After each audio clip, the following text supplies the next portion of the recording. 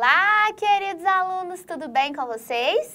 Olá, pessoal, tudo bem? Tudo beleza? Gente, hoje então estamos em mais uma aula de matemática, mas hoje a aula não é só de matemática. Nós vamos também ver um pouquinho de história, né? E por que não chamar um professor convidado para nos ajudar nessa história? Então hoje nós trouxemos aqui o professor Carlos para colaborar com a nossa aula. É, é, a nossa primeira aula depois das férias, então bom retorno para vocês. Espero que vocês tenham descansado muito bem, tenham brincado, tenham saído para se divertir, tenham ficado com a família, né? E agora vamos colocar novamente para andar o nosso caminho escolar, né? Nosso caminho de estudante. Então, hoje, para iniciar de uma maneira mais diferente esse nosso semestre, nós vamos fazer essa relação, né? Matemática e história. Não é isso, Carlos? Exatamente, professora Luara. Quero agradecer o convite, né, estar aqui né, nessa aula. Né, a gente está voltando de férias, então nós pensamos né, numa aula diferenciada, né, para que vocês possam voltar com tudo e mostrar para vocês que os componentes curriculares que vocês estudam aqui no Goiás Tech, eles conversam entre si. Por exemplo, as ciências humanas, que a história faz parte, pode conversar com as ciências exatas, né, que está a matemática né, e, e outros componentes também. É uma forma de você perceber que tudo que você está estudando tem conexão, né, tem uma conversa com a outra. Isso é muito bacana e é bom para vocês no seu aprendizado. Certinho, então. Vamos começar nossa aula? Sim, bora. Então, vamos iniciar aí entendendo um pouquinho dessa relação da história com a matemática. Eu vou começar falando, depois o Carlos sempre vai trazer a contribuição dele aqui, certinho? Então, vamos lá para a tela. Pessoal, então, é, eu trouxe algumas pequenas relações, mas a gente pode comentar mais a fundo se for necessário. Mas desde a pré-história que os seres humanos usavam conceitos de contar e de medir. Então já vem aqui a primeira relação, né? Desde a pré-história, né? A gente já tá com esse conceito de contar e de medir. Beleza.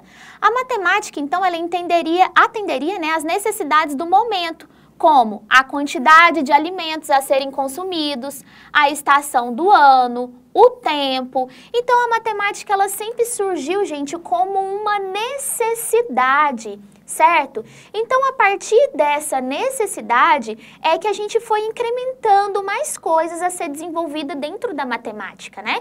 É, é, claro que a gente começou com coisas simples, né? Como a contagem do, do alimento, né? A contagem do tempo, as estações do ano, que é importante, por exemplo, para a plantação né, desse alimento, e assim sucessivamente. Sempre por meio de uma necessidade. Já nos impérios na antiguidade, nós vemos a contagem e a medição para a cobrança de quê? De impostos, né? Organizar as colheitas, construir edificações. E essa cobrança de impostos, gente, é uma cobrança de impostos que a gente vive até hoje, né? Então, até hoje a gente paga imposto impostos, né, para viver em sociedade. Então, essa contagem de imposto também veio aí a matemática para fazê-la, né? Então, a partir de outra necessidade, surgiu mais algum elemento matemático aí. E é interessante, né, Laura, vocês perceberem que a matemática ela atendia muitas necessidades dos primeiros seres humanos que surgiram aqui na Terra. Né? Eles perceberam que era preciso contar, medir, né, estabelecer a distância, principalmente naquele período da pré-história, né, que os seres humanos estavam lutando pela sobrevivência.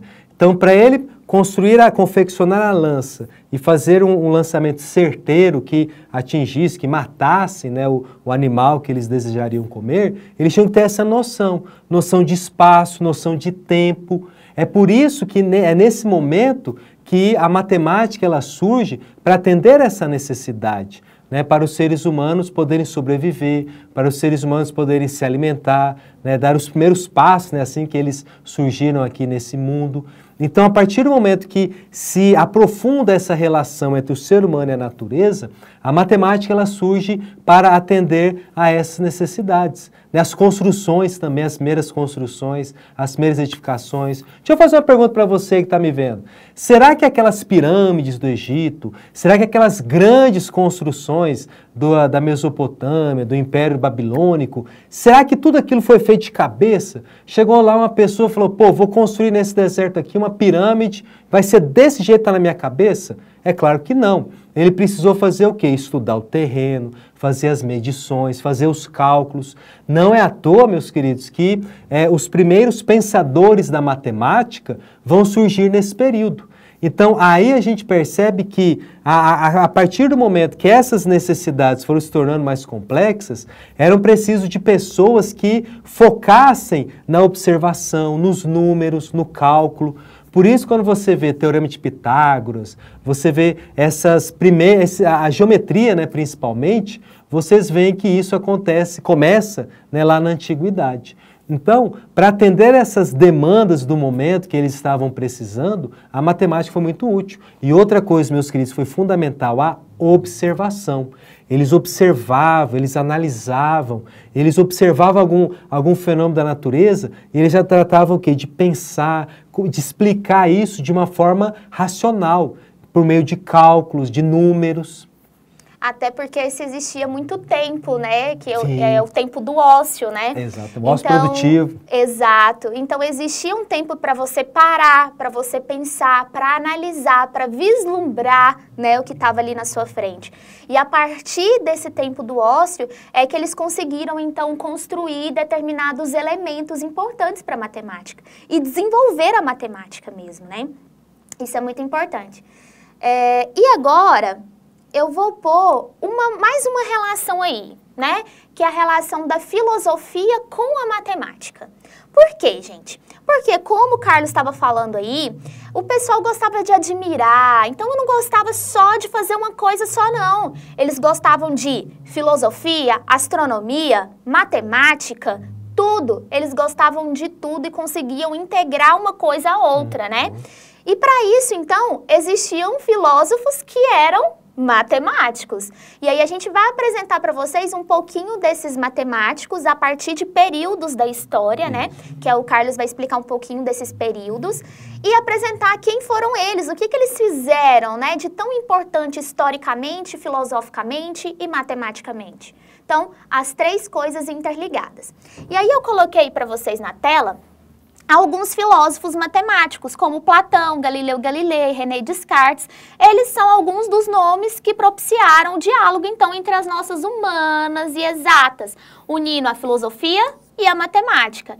E a conciliação entre ambas essas ciências permite então o quê? Observar o mundo de forma mais detalhada, a questão do questionar, formular conjecturas, estabelecer hipóteses em diversos contextos, principalmente contextos em que eles vislumbravam naquela época, né?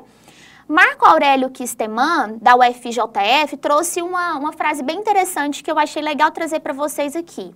Podemos dizer que a matemática é a filosofia em ação e a filosofia é a estrada por onde caminham os avanços matemáticos, por meio, então, do uso da razão, da lógica, de postulados e, principalmente, de histórias. Então, por isso que existe intrinsecamente essa relação, né?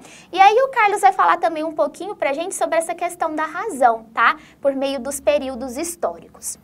Vou colocar aqui então para vocês um pouco dos matemáticos barra filósofos mais famosos. Gente, outra coisa interessante, quando surgiu a filosofia, né, ela, a filosofia vai surgir na Grécia Antiga a partir de um momento interessante, que é a ruptura entre a mitologia e a razão. Até então, os gregos, eles explicavam o mundo, explicavam a natureza pelos mitos, né? os deuses que eles acreditavam, né? a, presença, a, a, a presença desses deuses na realidade humana. Só que com o surgimento da filosofia, é a razão que começa a explicar esse mundo, é a razão que começa a explicar quais são os fenômenos da natureza, como funcionam, né? como eu falei anteriormente, a contagem, a medição. Então a filosofia ela surge né, como uma explicação do mundo mediante as palavras, mediante os números, né, mediante o cálculo, a lógica. Ou seja, a partir do, do momento que surge a filosofia, né, a, a, o pensamento humano ele come, começa a ser o quê? Explicado, ensinado. Né? Não é à toa que a gente tem Platão, é, Sócrates, Aristóteles, que eles vão ter os seus discípulos, em que eles vão ensinar todo esse conhecimento que eles tinham.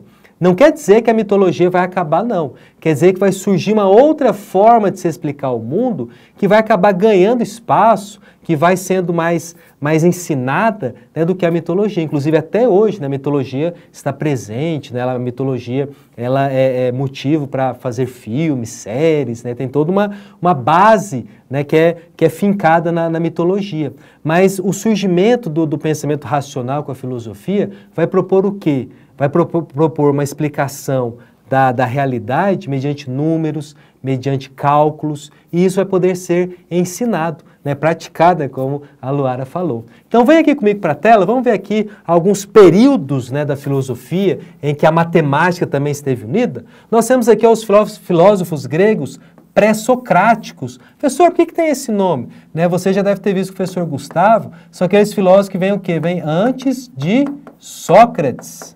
Isso mesmo, não é o jogador do Corinthians, não. É o Sócrates, exatamente. Então aí vocês veem que o Sócrates ele tinha um papel na participação muito importante no pensamento filosófico. Falta o S aqui. Então olha só, gente, presta atenção aqui, ó.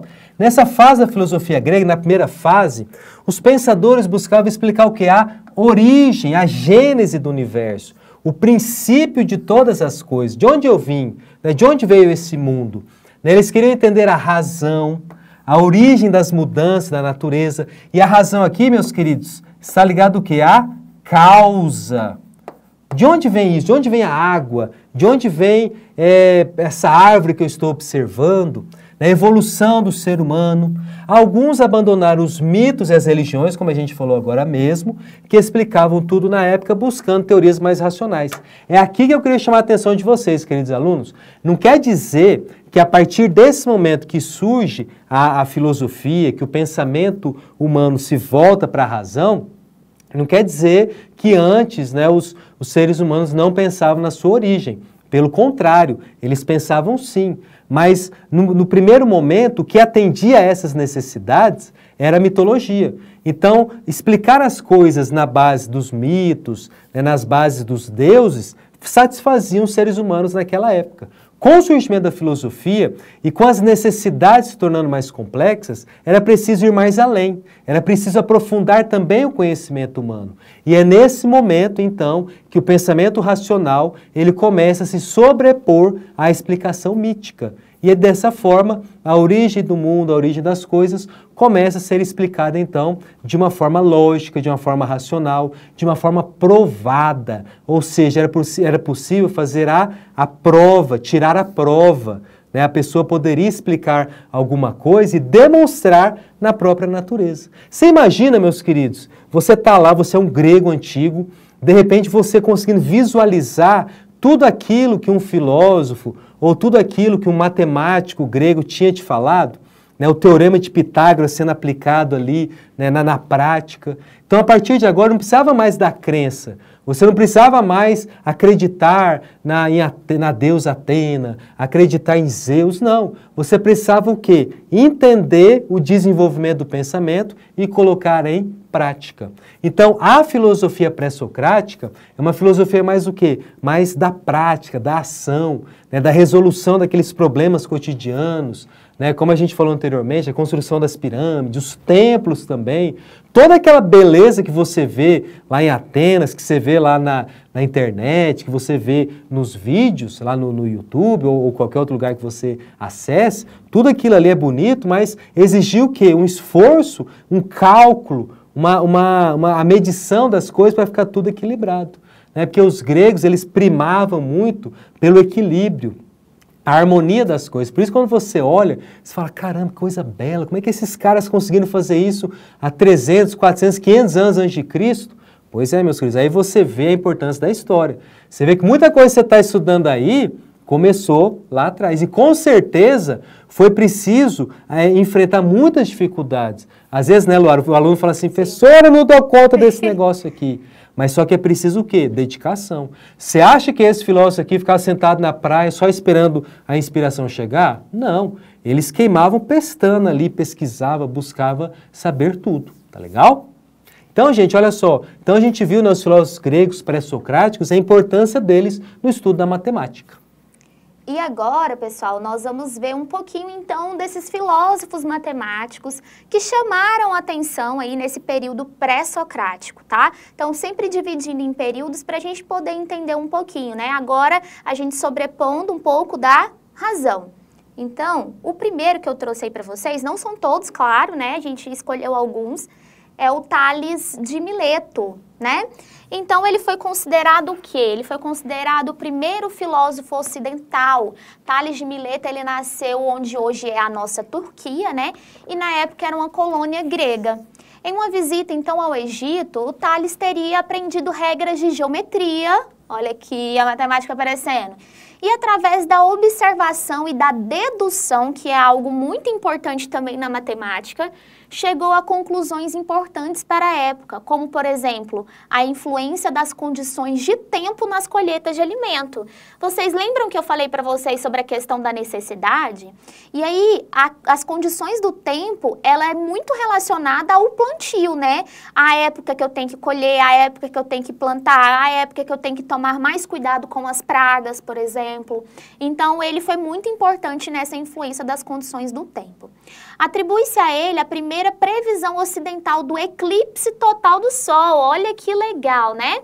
Um, um elemento importante, inclusive, que a gente pode visualizar. Pois o filósofo também se interessava por astronomia, como eu falei para vocês antes. Eles não pensavam só, ah, eu sou só matemático. Não, eu posso ser também astrônomo, eu posso ser filósofo e etc. E consigo relacionar todas elas. Ele acreditava no monismo, teoria que tudo no universo poderia ser reduzido, e era originado de uma matéria principal, no caso, a água, inclusive que o Carlos citou aí para nós.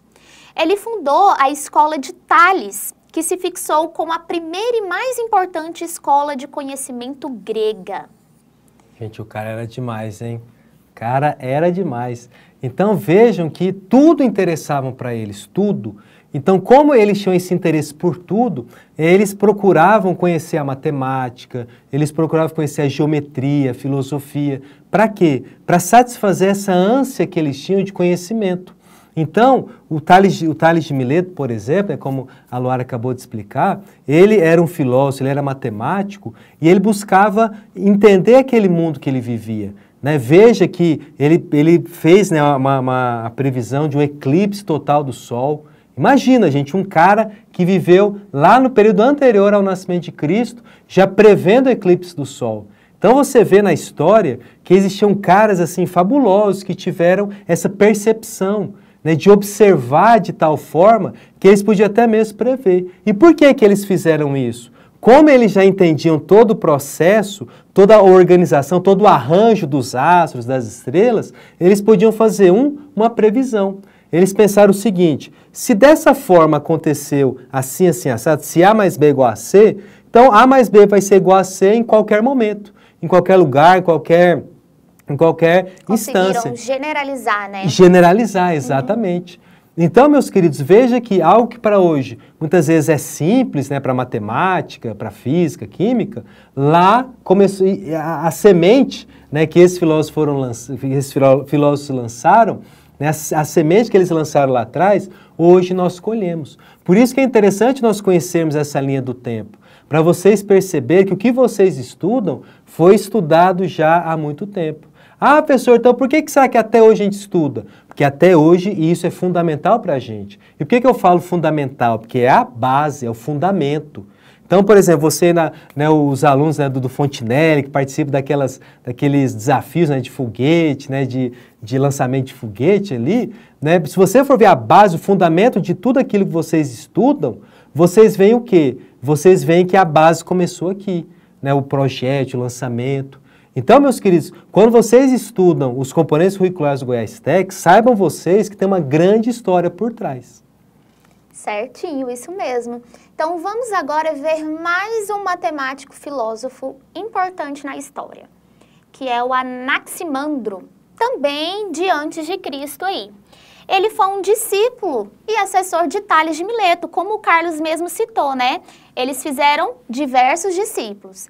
Anaximandro também nasceu em Mileto, colônia grega na atual Turquia, e frequentou a escola de Mileto, fundada pelo primeiro filósofo ocidental para procurar uma razão natural para o mundo. Estudando nos campos de conhecimento de, olha o tanto de coisa que ele estudava: astronomia, matemática, geografia e política. Anaximandro acreditava que o nosso mundo era apenas um entre vários outros, que se desenvolviam, evoluíam e destruíam em um processo infinito e inevitável. Lembrando que a ideia de infinito aqui, gente, é a ideia da matemática, tá? Para Anaximandro, tudo tinha início no que ele chamava de apeiron, algo que não tem fim, nem começo e é a origem de todas as coisas. Nele continha toda a natureza. Ele também acreditava que o sol agia sobre a água. Olha o elemento água aparecendo aqui novamente. Criando seres que evoluíam para várias coisas que conhecemos hoje. Pensamento que se assemelha ao que hoje nós conhecemos de quê? Teoria da evolução. Então, gente, vocês estão vendo que a, a não somente a necessidade, mas a curiosidade também é a fonte de conhecimento. Quando você se interessa por algo, você foca naquilo e você quer satisfazer seu interesse. E isso acontecia com esses filósofos. Então eles buscavam satisfazer essa sede de conhecimento que eles tinham, baseados no quê? Nos estudos, na observação. E eu volto a repetir, a observação era fundamental para eles. Observar não quer dizer assim que você vai ficar só olhando para o céu, não. É você olhar buscando entender o que você está olhando. Né? Vai muito além do admirar. É muito bonito quando você olha para o céu, ainda mais nesse período que o céu está mais limpo, você olha e fala assim, nossa, que pôr do sol bonito. Né? Esses caras, a gente está estudando, eles iam além do achar bonito. Eles queriam entender por que, que o sol fazia aquela trajetória, por que, que as estrelas se posicionavam daquele jeito. Então, meus queridos, quando a gente pensa nisso, nós vemos o tanto que esses, esses filósofos que a gente está estudando eram pessoas focadas naquilo que eles queriam entender. Então, o desejo que eles tinham, a fome de conhecimento era tanta que eles estudavam filosofia, é, matemática, estudavam tudo, né, várias áreas do conhecimento.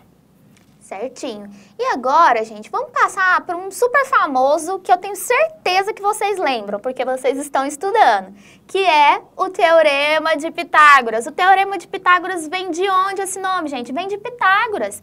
Pitágoras, também pré-socrático, né, antes de Cristo, ele foi um filósofo e matemático criador do nosso famoso Teorema de Pitágoras.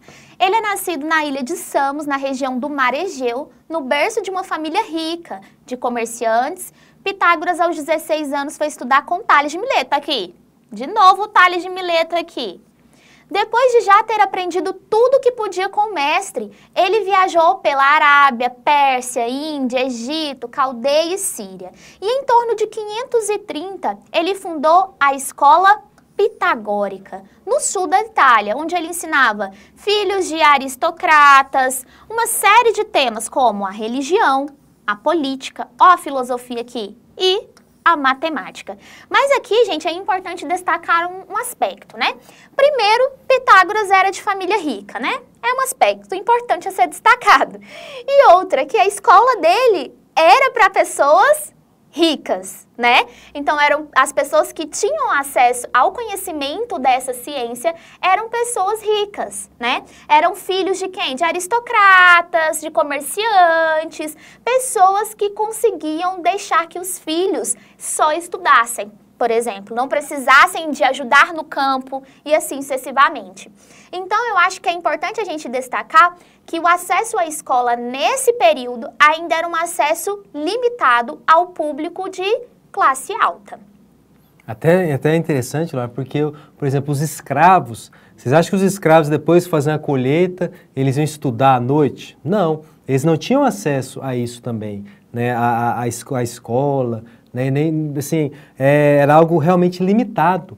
Né? Então veja que começou né, dessa forma mais limitada, e se hoje nós temos um acesso bem mais amplo, né, foi todo um processo histórico que foi acontecendo. Por isso que a história é importante para estudar, meus queridos. Que você vai acompanhando todo esse processo e você vai vendo como que desenrolou tudo isso. Então, se hoje nós temos, digamos assim, uma certa facilidade em relação a esses períodos, hoje a gente tem um conhecimento, um acesso ao conhecimento bem maior, foi preciso passar por uma longa linha do tempo até chegar nos dias de hoje. Então é interessante, e eu espero que vocês estejam entendendo, essa relação entre a história e a matemática, para vocês verem que foram várias pessoas que viveram ao mesmo tempo, dialogaram entre si, né? vocês viram Pitágoras que conversou com Tales, que conversou com fulano, com outro, com outro. Quer dizer, era um momento que eles estavam vivendo propício para isso. Então eles tinham né, essa abertura, porque às vezes tem pessoa que sabe muito, mas não explica ninguém, não explica nada para ninguém. Eles não. Eles, além de saberem muito, eles queriam ensinar. Então eles perceberam que não adiantava nada eles sozinhos observarem, fazerem todos esse, essas pesquisas, esses estudos e guardassem para si. Eles vão fazer o que? Eles vão ensinar. Então a gente pode até dizer que a origem da escola está aqui, uma escola formal, ou seja, uma escola com lugar próprio, com, com didática de ensino. Né? Inclusive, vários filósofos vão estudar isso, na né? questão do ensino, da aprendizagem. Isso mesmo. E se hoje vocês têm direito à escola pública e de qualidade, é por conta da história, de toda uma luta, viu? Exatamente. Então agora, vamos para mais um filósofo matemático importante na história, que é o Parmênides. Parmênides, então, gente, nasceu na colônia grega de Eleia, no litoral sudoeste da atual Itália, na Magna Grécia. Frequentou a escola que Pitágoras fundou, então Pitágoras fundou uma escola e o Parmênides já estudou nela. Fundou na Itália e ele era o que, gente? Olha aqui de novo. Família rica e influente. Ele concluiu que o mundo era uma ilusão, baseada em suas ideias do que era o ser. Não há nada além do ser, pois tudo que existe é, e tudo que o existe não é. A natureza para Parmênides era imóvel, não se dividia, não se transformava e estava presente em tudo. Ela simplesmente era. Se tudo era composto pelo ser que não se alterava, mas claramente o mundo que via com seus olhos mudava, então esse tudo se tratava de uma mentira. Olha só, né? Que filosófico! Suas ideias influenciaram o pensamento de quem, gente? De Platão, que a gente vai ver logo em seguida, que veio a ser um dos mais importantes da filosofia grega. Então veja, pessoal, que começa a surgir entre os filósofos aquele conceito de verdade e mentira, de realidade e de ilusão.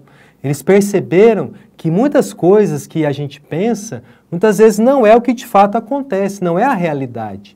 Né? Até o Sócrates vai falar muito disso, na né? questão da, dessas ilusões, como vencê-las.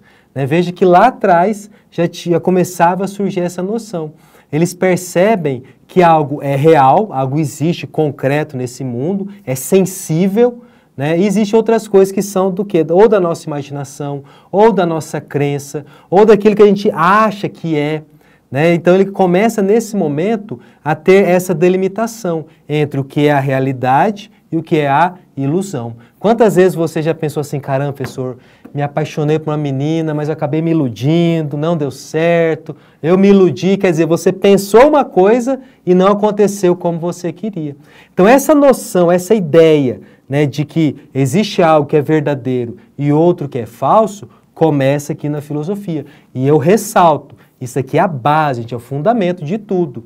Né? Então, quando você pretende estudar alguma coisa, quer dizer que você está buscando o que? A verdade. Você não quer ser iludido, ou você quer ser iludido? Se você não quer. Se alguém te ilude, se alguém vende alguma coisa para você e isso não é o que você queria, ou que não é o que você esperava, você fica frustrado. Então, essa noção de verdade, buscar aquilo que é de fato, aquilo que existe, que acontece, combatendo a ilusão, começou aqui com os gregos. Por isso que é, que é muito importante o estudo da história, da, da, história da filosofia, história da matemática, para vocês perceberem essa herança que a gente que a gente guardou desses caras aqui. Vocês já imaginaram se todo dia a gente tivesse que estudar tudo de novo que a gente aprendeu? Se a gente tivesse que voltar a estaca zero? Caramba, você já imaginou? Então, se hoje nós temos né, uma base né, do, do, desse nosso pensamento é porque lá atrás, há mais de dois mil anos, surgiram essas pessoas que pensaram, né, que criaram fórmulas, que criaram cálculos, conceitos que são muito úteis para a gente. E é por isso que você estuda até hoje, porque é a base, a, nossa, é a sustentação do nosso pensamento e até mesmo a sustentação do nosso ser, daquilo que nós somos. Olha, isso mesmo. Gente, e para continuar então, o que, que a gente viu? Nós vimos o período pré-socrático, certo?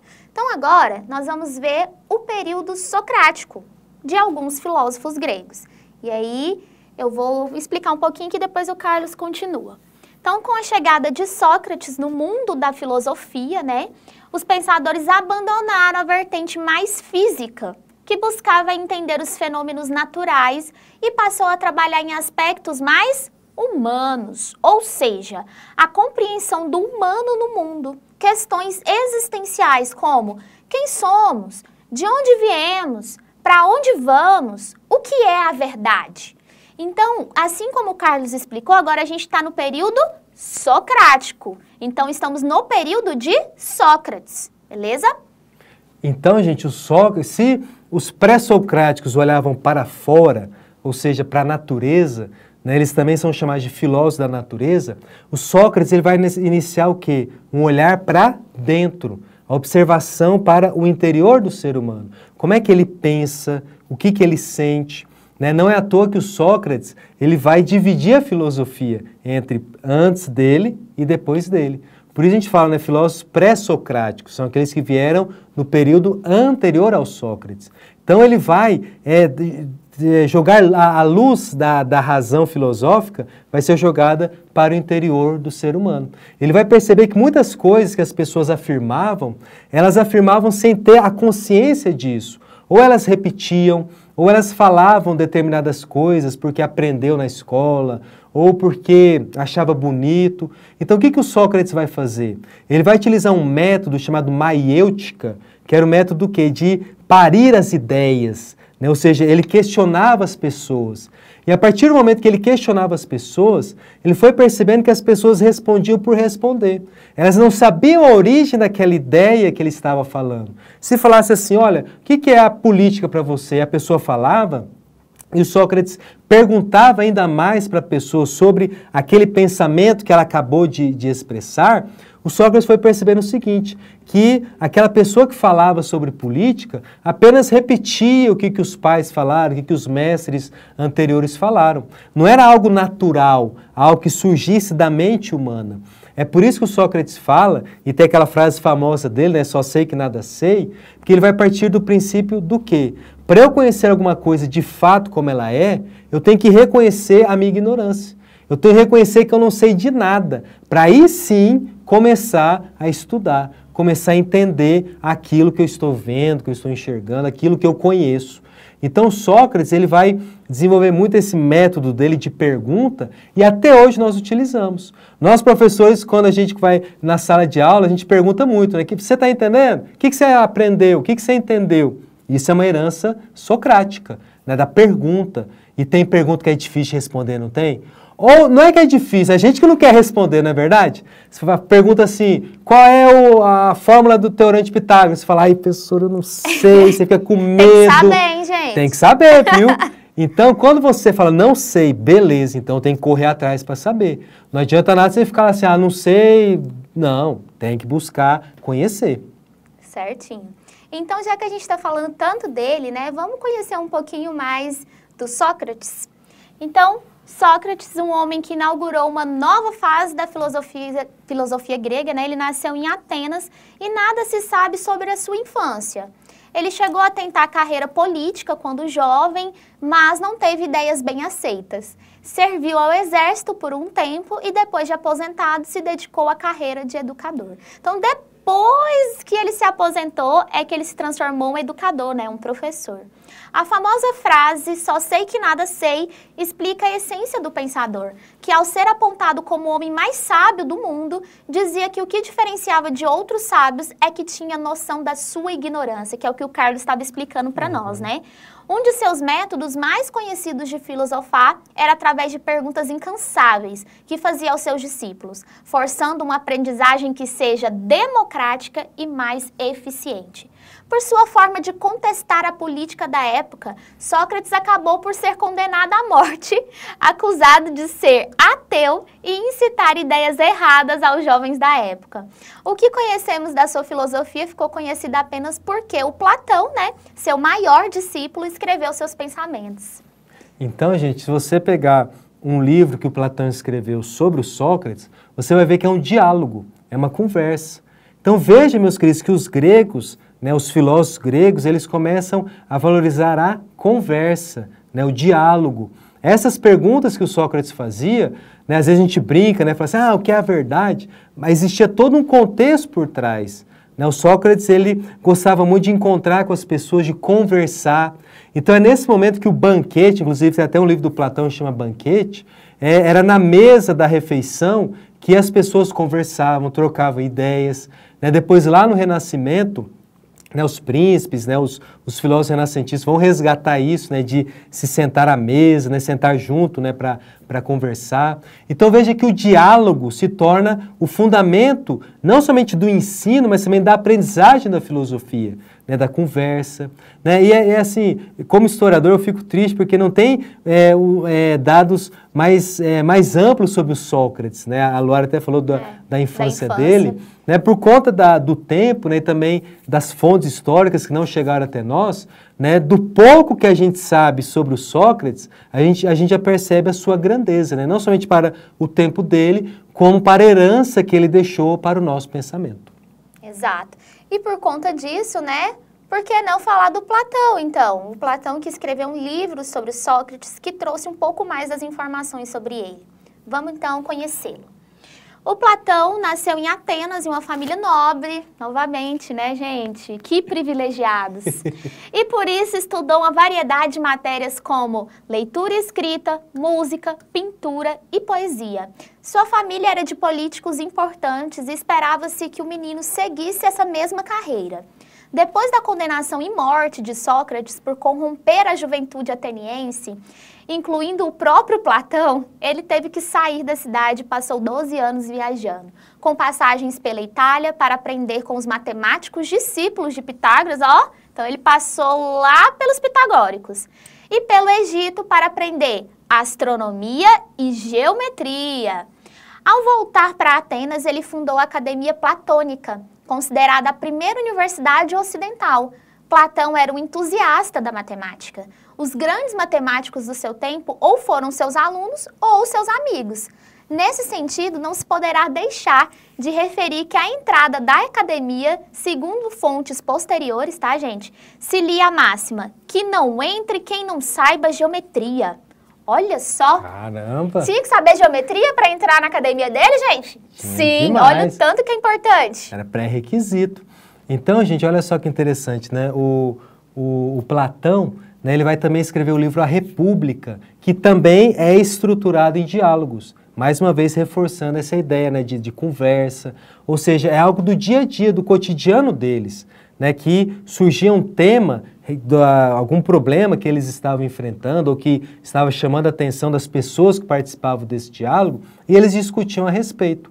Não é à toa que nesse período aqui na Grécia Antiga vai surgir a democracia, ou seja, a discussão de problemas da cidade, né, da polis, e a partir dessa discussão buscar soluções para isso, é a participação do cidadão né, na, na, na, na, vida da cidade, né, que nós temos democracia até hoje.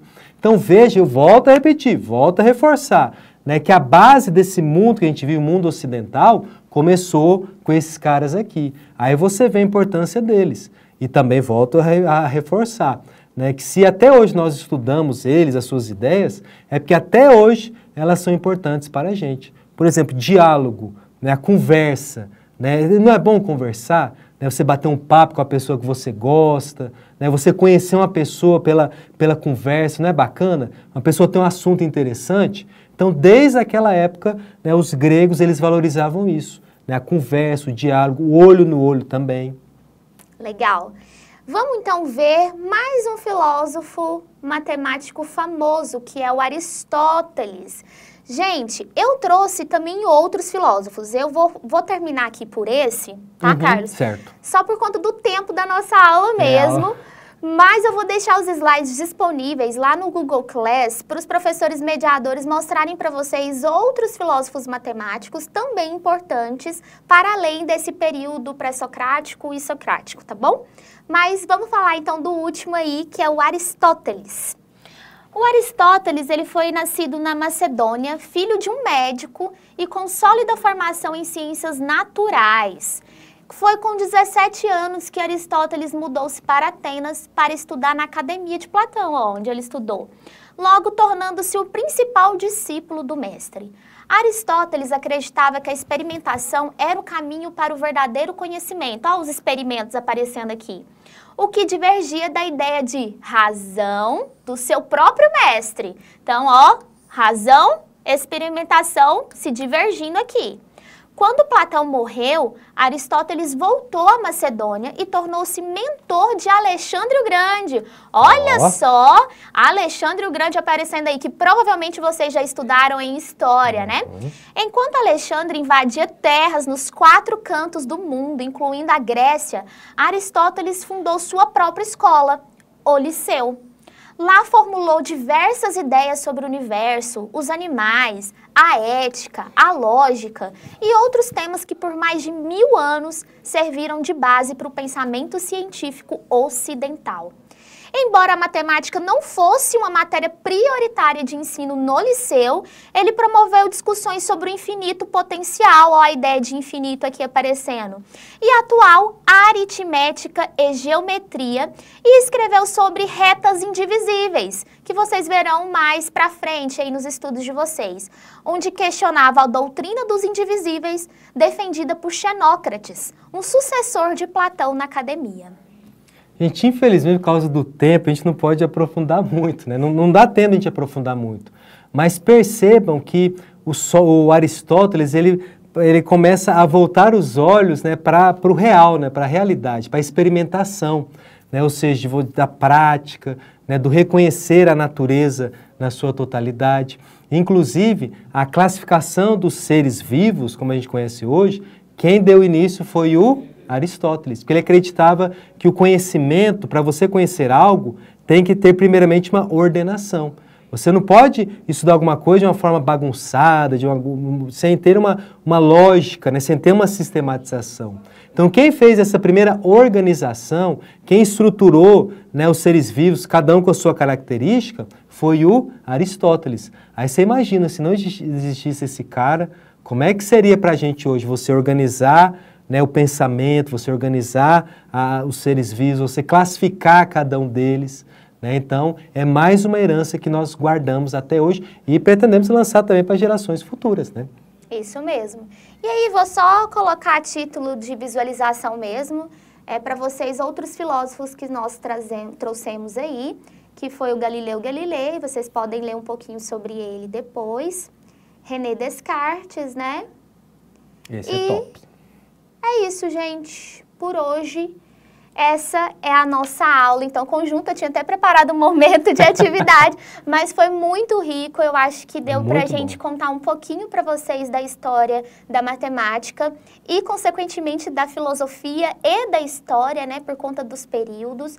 Então, eu acho que foi de suma importância. Espero que vocês tenham gostado. Muito obrigada, eu Carlos. Foi ótimo. O Carlos estava me devendo uma aula, tá? Desde o começo do semestre. Eu não ia contar, não, mas já vou contar agora. Desde o começo do semestre, eu falo assim: nossa eu tô tão cansada, né? Que eu tenho muitas aulas de matemática. O Carlos, não, pode deixar pode que eu vou fazer eu dou as aula, aulas Deixa pra aí. mim. Aí surgiu essa oportunidade. Falei, então agora eu vou, vou dar aula com você. Isso mesmo. Gente, promessa é dívida, hein? Ó, oh, então, e aqui a gente paga, viu? Exato.